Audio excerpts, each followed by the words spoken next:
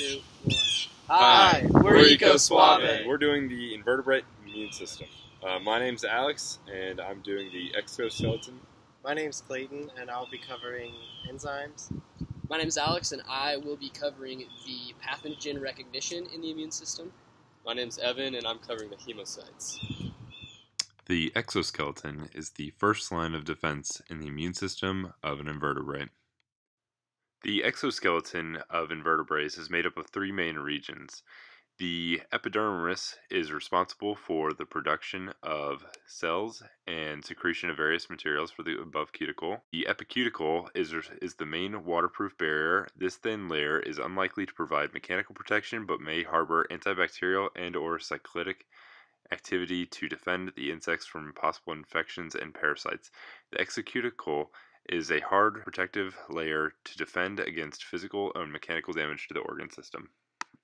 Insects mainly rely on their exoskeleton as a first defense against infection. However, when pathogens breach this barrier, they encounter several different defenses. Among these are hemocytes. Hemocytes are immunity cells that travel through insects' bodies in hemolymph. Some hemocytes break down foreign bodies using phagocytosis. Phagocytosis is when a cell engulfs a particle and breaks it down.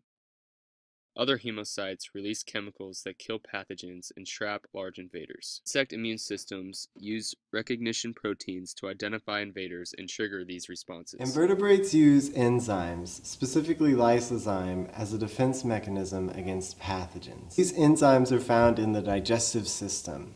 They break down the cell walls of bacteria. This acts as a chemical barrier against pathogens ingested with the food. Mosquitoes also have developed another defense barrier as part of their digestive system. This is the cibarial armatures. These teeth-like structures physically destroy pathogens as they enter the digestive system. It is most effective on metazoans such as roundworm and on bacteria and viral pathogens.